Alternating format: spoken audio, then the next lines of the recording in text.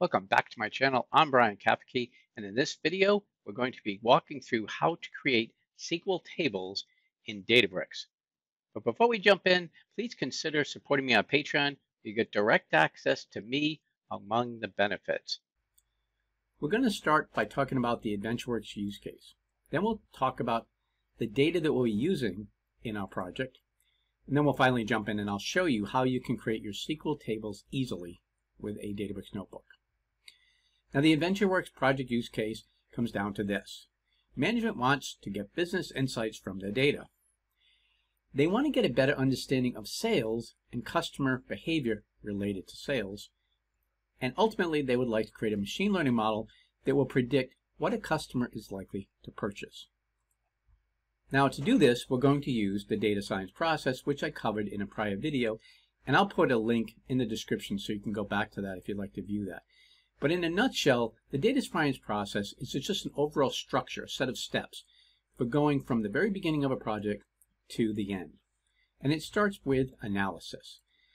We identify the use case. We've just done that, so we're pretty good there. And then we need to identify the data required. That's taken care of because I'm going to show you the data we're using from AdventureWorks. AdventureWorks data comes from Microsoft's test data, which they allow for their own trainings. We're just going to lift and shift with that. Uh, the next step would be data engineering, and that starts with data collection. So we need to identify in the analysis what data do we need, and data collection involves figuring out where that data is going to come from and how to get it into our project. As part of that, we're going to have to probably build some sort of an ETL process, upload into, in this case, our Databricks environment, and then we're going to have to do things like cleanse the data and prepare it for use. Then we go through a step which is called exploratory data analysis. This can be extremely beneficial because we're going to learn about things we may not have realized, like what are the demographics of our, our most profitable customers? What are the majority of our customers, say, ages? Do we know? Do we know, is there a preference of among education levels of people, etc.? So these things can be really valuable just to know in general. So we're going to look at that as well, and that's part of the data engineering process. Finally, you get to feature engineering. When you want to train a model, a machine learning model to do some sort of a prediction, you need features. Features are the input. They're the data that's used, historical data, that can be mapped to some sort of an outcome. So for instance, we can see things like customer demographics, geography may affect what a customer is likely to purchase. So we're going to look at that. But the idea is you need to first learn about the data, and then you need to prepare the specific columns of data you're going to use for being used in models. And models have very specific requirements. You can't just throw anything at them. Raw data doesn't work. Steps you need to go through to prepare the columns to be used by a model. And when you get to the machine learning step, here's where you have the model training and evaluation, and finally, model deployment. Now, a quick thing I would like to point out is that this really is like a data science team typically involved. You'll have analysts involved in the first step and domain experts, the data engineering piece is really the heavy lifting of the data, the architecture of the data. It's a huge area in itself. And then you finally have the machine learning, which is something typically handled by a data scientist. A part of this, the data step collection to model deployment, is really iterative. Models become out of date. Remember, models are not like fixed applications where you just get the requirements, build the app, and you're done. Machine learning models are completely driven from data. And since the data is continuously changing, the customer demographics could change. The economic conditions can change. Even just the time of the year can make a difference on what the models would predict. So things have to keep changing. And so that model needs to keep going through this cycle and being retrained, and you have to keep reevaluating the model. Now we're going to be using a set of data. There's two potential sources. There's the AdventureWorks transactional data, which is what drives the actual business operations. And then there's a data warehouse. Data warehouse is an extract and a restructuring of data to be used in reporting. So in this case, we can see what's called a star schema. And the star schema is showing us that at the center is our fact table, and then off of that are our dimensions. So a star schema is considered sort of the gold copy of how you should be building a warehouse. And the idea is that your fact table only holds metrics and pointers to the dimension tables. What are metrics? Metrics are actual quantitative things like the amount sold, price, the unit price, etc. can be part of those metrics. The dimensions are descriptive, so they're not meant to be quantitative. They're not the kinds of things you're going to be aggregating and things like that. So we have the sales territory, the product, the date. So we have a separation of descriptive data, dimensions, and the quantitative data fact. Now, bear in mind, there's only one level of joining required in this structure. A fact can join to any one of the dimensions, but dimensions do not join to other dimensions. If a dimension joins to another dimension, then it's called a snowflake. So don't get that confused with the popular data warehousing product Snowflake. Snowflaking is actually not a good practice in dimensional modeling. The key thing about data warehouses that are dimensionally modeled is redundancy is good because having a lot of redundancy means that queries typically, if it's done according to dimensional modeling, the queries will run a lot faster. The data is right available. Not ideal for maintenance, but it's great for doing reporting. So looking at the star schema, almost a star schema that they give you with AdventureWorks, we can see fact internet sales at the center. Now there is a resale reseller sales table as well. We're not going to get involved with that for this particular analysis. We're looking at internet sales and we're looking at the product table. So we've got dim product and dim product category and dim product subcategory. There's two things to note. One is that the dim product we can see is joining to three different tables. That's snowflaking and generally that would be a bad practice. And in fact, I would recommend a company merge that into one dimension. So it's not really well designed that way. But we can see things also we have relationship to another fact table, which probably could be a dimension as well. And finally, we have our dim ta uh, dimension table. The main point is we have dimensions with the descriptive data and our fact, fact internet sales is really our core sales table, our fact table. I'm in Databricks now. I'm in my workspace. And if I'm, I'm using Azure Databricks, so I went into Azure, logged into the portal, went to the workspace, and then just started it. And in the workspace, I clicked on clusters and my cluster is terminated, which means it's really paused and all I have to do is restart it. So let me restart it. It'll take a few minutes, but I'll cut out that time for you guys. So to start the cluster, um, I had to shrink the screen a little bit. Over to the right here, you can see a little arrow. All I have to do is click the arrow. It's going to say, confirm you want to start the cluster. And I said yes. And then I just have to wait a few minutes while it's starting the cluster. The cluster's been restarted. And the first thing I want to walk you through is how to get data up to a cluster. So I'm going to go to the toolbar on the left, click on data for the cluster. What we can see is we have a number of databases. Now we're going to be recreating AW project, or I'll be using that one, but um, that's the one we'll create. But you can see we have default, and we have several other databases out here. Default is the one that you automatically have, and you don't have to create any others. What I want to do here, and you can see there's all different tables, depending on which thing you pick, you can see the tables. So when we think of databases, we can see that a database is really kind of like a, a folder in which we're putting our tables. Now what I want to do is click on create table and it doesn't really matter which database is clicked because we're not going to load it into a database, we're just going to bring files up. So I'm going to say create table and down in the files box, you can see here, I'm going to click on, we're down here, I'm going to click on browse. And once we've done that, you can see there's a whole bunch of files here. Select all the files, then say open. What you'll see happen is all these files are being uploaded. Now this is something that's not obvious when you use Databricks at first, but you can upload a lot of files at once. And this is that something I've been asked a lot when I've done workshops. How do I do them all at once? You can see here I'm bringing all these files up, doing a little bit of work. Some of these are fairly large files, and I can see down here they're all listed. Now the one common denominator I want you to pay attention to is that the folder they're going to is file store slash tables. So when we upload to the UI, the Databricks UI, it automatically goes to file store slash tables, and this is under the Databricks file system. So when you have Azure an Azure Databricks workspace, it automatically attaches blob storage to it, and this is where the Databricks file system is kept. That's where it stores things. So we've uploaded all these files. Now the only problem is I can't use the create table with UI button because that only works on one file at a time. The other thing I want to point out is since I've done this before, you can see it just adds a sequence number onto the file. It's like I've already got a dim currency, so it's going to call it dim currency-2. You can see there's a lot of these things where it's already done that. All right, so now that we have our tables uploaded, I'm going to go to Create Tables. What I want to do here, let me just give it a little bit a little bigger for you.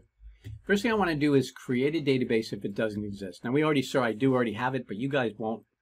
So I can hit Control key plus Enter, or I can go over here and just click the arrow and say Run Cell And if this database didn't exist, now it does. Now I want all of the things I do when I say create tables and load things and do things, I want it to all take place in my new database. And I've called the database AW project. So in order for that to happen, I'm going to do what's called change in the database context. So if I say use database name, it means everything after that is automatically going to assume that I want it to happen in that database. Now you can override that by prefixing something like a table with the database name. So some other database dot table name. But we're just going to go into the AW project database. And now what I want to do is I want to take those files we created and load them as tables. So first thing I need to do, I'm going to drop the file if it exists, drop the table if it exists. And so for instance, I have dim date. If it exists, I'm going to drop it. That way I can upload it again. This might be something too you would want to periodically run. Maybe you're going to get refreshed files and you want to delete what's there and just reload them. So that's an example you might do that.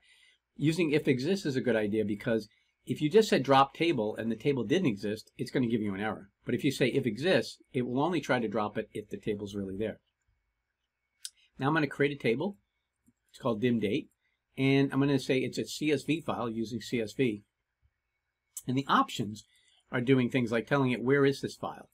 Now I had a problem because the syntax seemed to have changed what they allowed. It used to be I didn't need the slash. But now if I don't include the leading slash, it gives me an error about absolute path must be required is required. So you make sure you include that. But this is where it uploaded the dim date file that we just, you know, brought all those files up. That's where it went. So that's right there. We're going to say header equals true. By including the header equal true option, it says that the first row in the CSV file includes the column names. So each thing, and what that means is we can use those column names as our table column name, so we don't have to provide it. So that's what's going on there. And first schema equal true means that as it's loading the data, uh, Spark is going to analyze the data and determine what the data types are, whether it's a string or it's numeric or etc. Okay, so I'm going to just run this here. You can see I reran it earlier. Okay, and lo and behold, you can see that the data came up fine. All right, so let's do another one. And we're just going to go through a bunch of these. Now we have dim customer, and it's really the same idea. We brought that file up. There it is. The header is true, so it's going to use the first row, of, which has the column headings, as column names. And it's going to figure out what the data types are for us. And then we're just going to display a couple of rows to make sure it worked. I'm using Control Enter on the cell to run the cell but not advance.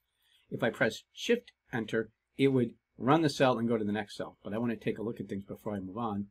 And we can scroll in here and see there's quite a few columns in that particular thing. That's the customer information. Now we're going to do geography, the dim geography table. Again, there's really nothing different about each one of these. So we're going to run that. Dim product, same thing. So it's pretty straightforward. Doing it this way is, is actually nice because we can load up a bunch of tables and then just write a bunch of statements like this and boom, we're done.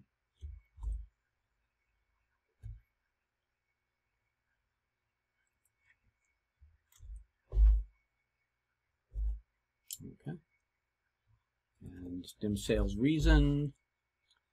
So we're getting a bunch of tables. The idea is we're going to build up a set of tables in a database so now we can slice and dice and join and do a lot of analysis on the data. DIMS, this one's dim sales territory, so it provides territory information. All right, good. And fact internet sales. This is the big one. This is a fact table. It shows all the sales information, so we definitely need that. One of our larger tables. Uh, we can see quite a few columns in here. Now this particular load, I want to show you, and it's a little bit different. We're going to be loading a table called Fact Internet Sales Reason. It's a small table. We're going to do a couple of things different because I just want to show you that you have some options here. And one of them is you may have noticed like, okay, it's great, but what if I don't have um, a row which gives me the column headings? What if I don't want to do that? So one thing I can do is instead of that, instead of just taking the first row for column headings, I can actually tell it the schema right here. So I'm saying there's a sales order number, which is a string, sales order line number, which is an int, and a sales reason key, which is an int. And I'll put a link in the description so you can find what are all the different data types recognized by Spark SQL uh, because they're not exactly what you might be used to in a relational database. So that's going to define the schema. Now, in order for that to work, I need to tell it that the header is false, meaning don't read the header row to determine this information. The other thing is I'm telling it the types, right? So I don't want it to infer the schema either. So I've got those two things. So the big takeaway, just to review this, is I'm turning off the header and infer schema options, and I'm giving it the schema here. Now I'm going to make sure everything lines up. If I have too many columns or too few, I'm going to have problems. But let's see how this goes. All right, so this looks good. We can see that we now have our columns, that we gave it the names, and all looks good. We've got our data types. So I think we're good to go on that one. One of the things we may want to do is take a look at the tables and just see some of their attributes. So let's confirm, for instance, that we actually got the data types we wanted. Run this, and we can see that uh, we can see that yep, it defined it correctly. Remember, we didn't we said infer schema is false, so we told it the schema and it worked. And we can see a couple of a lot of other information because we used the extended option. Now let's do a list of the tables to make sure we got everything. And if I do show tables, you can see we got all our tables here. So this is really a nice handy way to do things. In summary, we first created a database, which you can think of more as a folder. We then did the use statement to switch context into that folder. And then we took all those files we uploaded and we defined them as tables we started by talking about the AdventureWorks use case and the idea that management called us into the office and said, we want you to do this project, which is a fairly typical scenario. As a consultant, this is the, usually how I start something, maybe not always a machine learning use case, but usually some sort of a data analytics project. And the AdventureWorks use case is great because it gives us some pretty realistic data to work with, and we get to center all of what we're doing around the actual framework which is used by professionals, the data science process. So you'll get a good feel for how would you really approach a project and what are the steps you'd go through. And you can go back to these notebooks and to these slides and say, this is what I need to do, which is really why I want to center it around a real project. We looked at the data itself and we talked about the fact that there are transactional designs for databases and then there's data warehousing. Data warehousing tends to have a lot of redundancy and it's built usually by extracting data from a, an, online transactional processing, OLTP database, uh, and it uses dimensional modeling, which is um, optimized towards querying and reporting. The transactional databases, OLTP, which is where most of the DBAs spend all their time trying to performance tune and make it hum, those are your critical systems that run your companies. Those are the things where people lose sleep if they go down. And so they have to run really quickly. So the architecture of those is very different. And the reason I want to point that out is because in your work, you're going to come across both, in addition to things like flat files and uh, JSON files and any number of other things and NoSQL databases. So you have to be prepared for a lot of different things. We're going to be using mostly the data warehousing model data from AdventureWorks. Finally, we did a nice step through of a Databricks notebook in which we loaded, first we stepped through starting our cluster, then we uploaded all the data. We saw that we could just upload a bunch of files and Databricks automatically puts it into a folder for us and then we can just go and then in the notebook define each table from that data. So we're putting a schema on top, schema on read, which is something I talked about in another discussion of the lesson. So we can just now query using SQL, but we don't have to reload the data, right? We're actually querying it right where it is in those CSV files. So it's a really handy feature. All right, so that's really the gist of this. Covered a lot. So hope you like this video. Subscribe, tell your friends, let everyone know, put comments in. I love to hear comments, questions, etc. Until next time, we're all in this together. I'm pulling for you.